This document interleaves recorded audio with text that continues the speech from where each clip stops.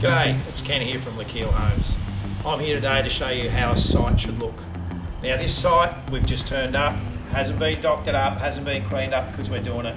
But as you'll see when you walk around here, the site looks beautiful and clean. Everything here, nice crusher dust around, all the excess timber stacked in one pile at the back.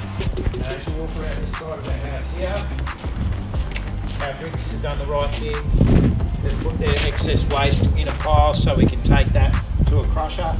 And over here, we have our separate brick stack, our leftover brick stack nice and neatly over here. Inside the house, we're going through this door here and have a look.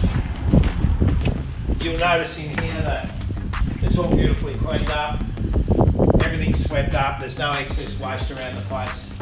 And for me, that means we get a better product. It means my clients can come in here and I'm proud to show them this product.